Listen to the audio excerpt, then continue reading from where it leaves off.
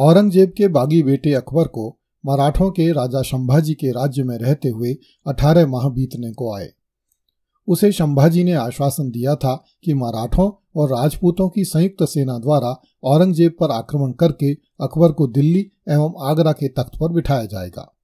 किंतु शंभाजी, जंजीरा के सिंधियों, मैसूर के चिक्कादेव राय तथा गोवा के पुर्तगालियों के हमलों से इतना घिर गया था कि वह अपने राज्य से निकलने के लिए सोच ही नहीं पाता था।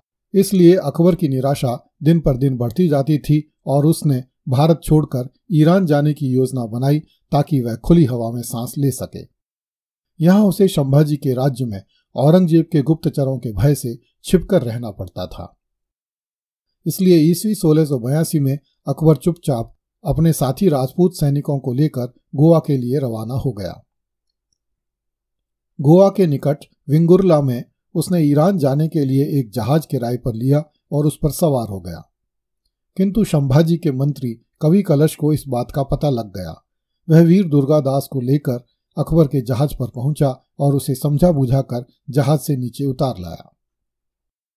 अकबर फिर से इस आशा में भारत में रुकने को तैयार हो गया कि एक दिन मराठों और राजपूतों की सेना की सहायता से दिल्ली और आगरा के लाल किलों का स्वामी हो जाएगा।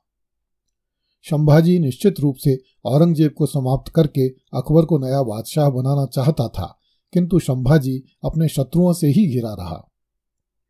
यहाँ तक कि एक बार पुर्तगालियों ने संभाजी को बुरी तरह से घेर लिया और संभाजी का बच निकलना कठिन हो गया।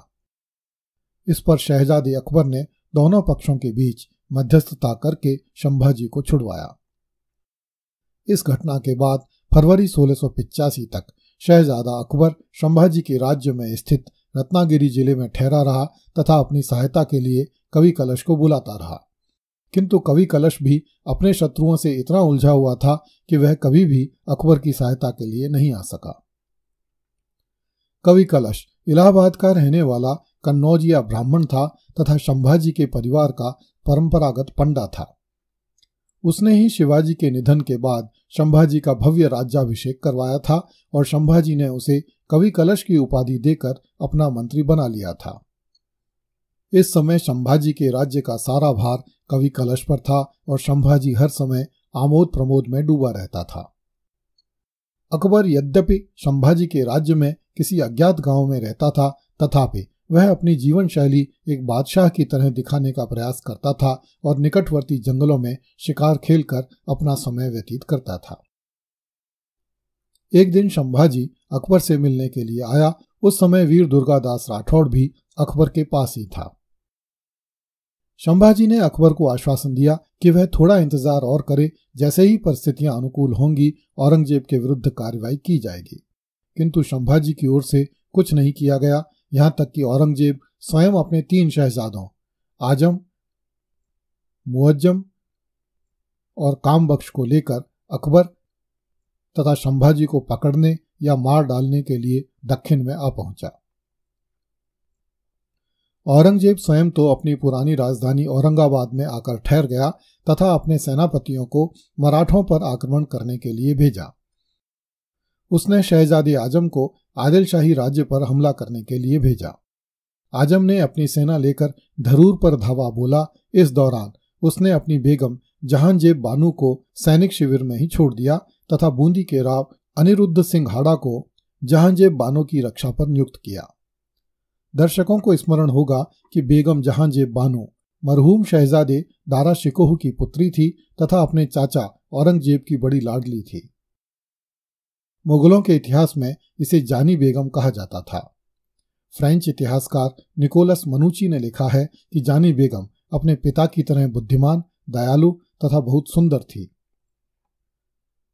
जब मराठों को ज्ञात हुआ कि शहजादा आज़म शाह अपनी सेना को लेकर धरूर पर आक्रमण करने के लिए गया है तो उन्होंने मुगलों के डेरे लूटने के लिए शाह आज़म के शिविर पर हमला बोला। जब बेगम जहांजेब बानू को ज्ञात हुआ कि उनके शिविर को मराठों ने घेर लिया है तो उसने राव अनिरुद्ध सिंह हाड़ा को अपने डेरे में बुलाया तथा उससे फारसी भाषा में बड़े भावपूर्ण शब्दों में कहा शर्म चकताइया या राजपूत या एकस्त अर्थात, राजपूतों के लिए चगताइयों अर्थात मुगलों की मान प्रतिष्ठा उनकी अपनी ही है। मैं तुम्हें अपना बेटा बनाती हूँ, तुम मेरे साथ ही रहना और मेरा ध्यान रखना। जानी बेगम द्वारा कहे गए इन शब्दों का आशय यह था कि जब मैं मराठों से युद्ध करूँ तो तुम मेरे साथ रहना, तथा यदि हम हारने लगें तो तुम मराठों को कुछ देर के लिए रोकना, ताकि मैं अपने पेट में तलवार भोंक कर देह छोड़ सकूँ और मराठे मुझे पकड़ न सकें। इसके बाद जानी बेगम और मराठों के इस दल के बीच भयंकर युद्ध हुआ, जिसमें वीर अनिरुद्ध सिंह हाड़ा बुरी तरह घायल हो गया, किंतु उसने मराठों को बेगम के हाथी तक नहीं पहुँचने दिया। बेगम भी पूरे समय तक रण क्षेत्र में टिकी रही और अपने भालों से मराठा वीरों का सामना करती रही। अंत में अनिरुद्ध सिंह की मोर्चाबंदी और बहादुरी काम आई तथा मराठे वहाँ से भाग गए। जहांजेब बेगम के साथ भी किस्मत ने बड़ा मज़ाक किया था। उसके पिता दारा शिकोह को शाहजहां ने वली अहद अर्थात भावी बादशाह घोषित किया था, किंतु औरंगज़ेब ने दारा शिकोह का सिर कटवा दिया।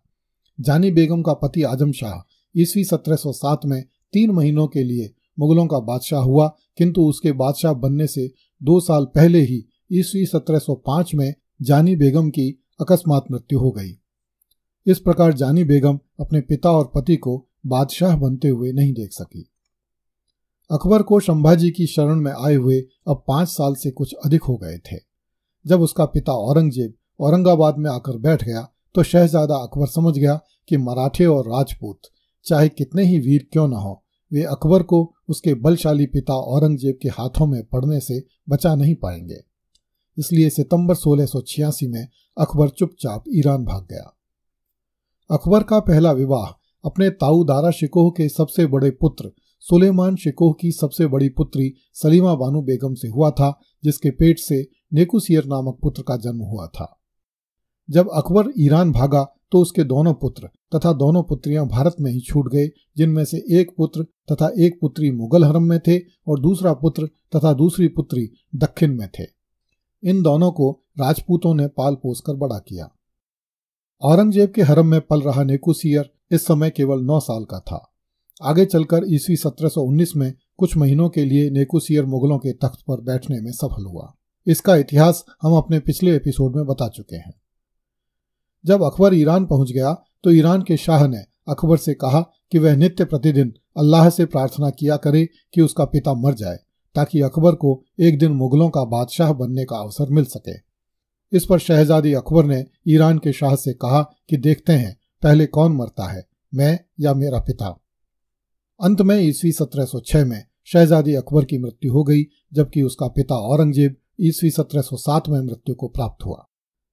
अगली कड़ी में देखिए, औरंगज़ेब ने शहजादे के बाल और नाखून काटने पर रोक लगा दी।